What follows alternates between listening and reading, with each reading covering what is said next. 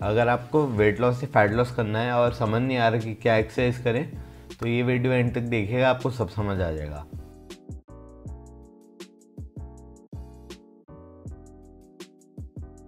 नमस्ते, आप देख रहे हैं फिटनेस अंकल और आज हम बात करने वाले हैं कि वेट लॉस या फैट लॉस के लिए कार्डियो बेटर है या फिर वेट ट्रेनिंग बेटर है।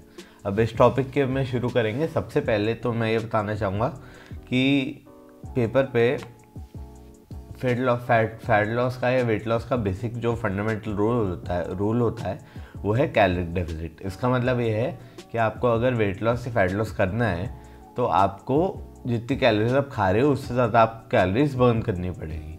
अब यानी कि calories in should be less than calories out फिर आपका वेट लॉस या फैट लॉस होगा. अब थियोरेटिकली जो कार्डियो एक्सरसाइजेज होती हैं एक्सरसाइजेज होती हैं हमारी, वो वेट ट्रेनिंग से ज़्यादा कैलोरीज बर्न करती हैं। तो आपको पेपर पे ऐसा लगेगा कार्डियो एक्सरसाइजेज आपकी कैलोरी डेफिसिट में ज़्यादा कंट्रीब्यूशन करती है तो उसमें ज़्यादा हेल्प करती है तो कार्डियो बेटर होना चाहिए। पर लॉन्ग टर्म में ये चीज़ ऑप्टिमल नहीं है, मैं बताता हूँ क्यों। अब जब आप बहुत टाइम तक सिर्फ़ कार्डियो ही करते रहेंगे तो एक तो आपका मसल मास अच्छा नहीं बनेगा तो आप मतलब अच्छे नहीं लगोगे। अब ज़्यादातर लोग जब कहते हैं कि हमें पतला होना है तो उनका एम ये होता है कि हमको अच्छा दिखना है। अब सिर्फ़ वेट लॉस करते रहो, अब मतलब सिर्फ़ कार्डियो करते रहोगे मसल बिल्ड नहीं करोगे अब वेट ट्रेनिंग करके तो आप अच्छे नहीं दिखोगे।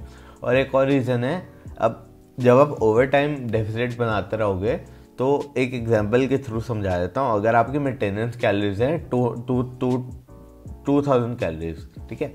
अब उसके बाद आपने कार्डियो सेशन शुरू करा जो आपकी 250 कैलोरीज बर्न करता है।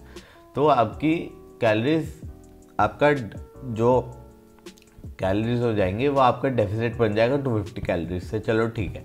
अगर आप 2000 कैलोरीज खा रहे हो तो ही वो 250 का डेफिसिट बन पाएगा। पर अगर आप वेट ट्रेनिंग करते हो तो वेट ट्रेनिंग से हम जानते हैं कि मसल मसल डेवलप होती है। अब मसल टिश्यू जो है, वो एक्टिव टिश्यू होता है। वो हमेशा उसको एनर्जी की रिक्वायरमेंट होती है, सिर्फ़ उसको रखने के लिए बॉडी को, सिर्फ़ बॉडी में रखने के लिए उसको एनर्जी की रिक्वायरमेंट होती है। तो उसको ज़्यादा कैलोरीज यूज़ करती है वो, सिर्फ़ एग्जिस्ट करने के लिए ही। तो जब आप इतनी सारी मसल गेन करोगे, जब थोड़ी भी अगर मसल गेन आप करते हो तो आपका मेटाबॉलिज्म इंक्रीज होता है। जो आप अभी 2000 कैलोरीज खा खा रहे थे, वो भी आपको मेंटेनेंस के लिए कुछ हो सकता है टू ट्वेंटी टू हंड्रेड हो जाए ट्वेंटी फाइव हंड्रेड हो जाए। तो उसके बाद आपका ये जो डेफिजिट क्रिएट करना है वो ज़्यादा ईजी हो जाएगा। लॉन्ग टर्म में कोई इतना फ़ूड कोई इतना खाना रिस्ट्रिक्ट भी नहीं कर पाता, ये मैंने बहुत लोगों के साथ देखा है। तो अब ऑप्टिमली अगर आपको फैट लॉस वेट लॉस करना है तो आपको कार्डियो भी अपने रूटीन में रखना चाहिए, आपको वेट ट्रेनिंग भी अपने रूटीन में रखनी चाहिए। पर अगर मेरे को एक एक्सरसाइज एक फॉर्म ऑफ़ एक्सरसाइज चूज़ करनी हो लॉन्ग टर्म के लिए जो मैं करना चाहूँगा, अगर मेरे को वेट लॉस या फैट लॉस करना है तो वो डेफिनेटली वेट ट्रेनिंग रहेगी। आशा करता हूँ आपको सब इस बारे में समझ आ गया होगा।